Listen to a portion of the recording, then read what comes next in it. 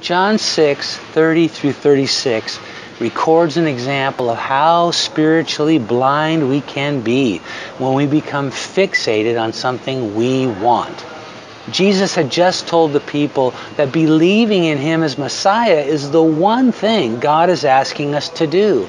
And to paraphrase, they responded by saying, If you really want us to believe that you're the Son of God, what miracle will you perform to convince us? Yes, we enjoyed the free meal you provided us the other day, but you only fed thousands and just once. Moses gave manna, the bread of heaven, to more than a million Israelites every day for 40 years.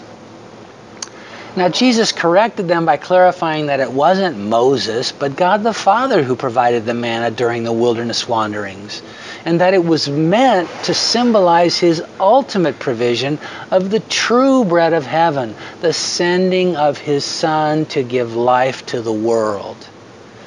Now, their reply sounds good Lord, give us this bread always. But it's clear by the Lord's immediate response, as well as what follows in the rest of the chapter, that they still did not get it.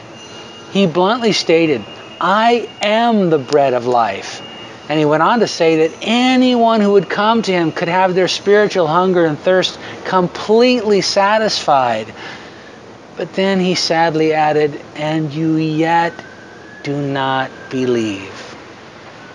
They were like a dog on a bone. They could not let go of the dream of having Jesus provide them with free food. But their insistence on the satisfying of that desire caused them to miss the big picture altogether. And I'll bet you've experienced that yourself.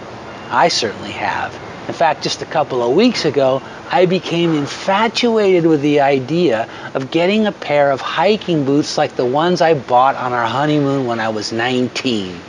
I know it sounds crazy, but for several days there, I spent all my free time dreaming about how much better my life would be if I could just relive that part of my wardrobe history.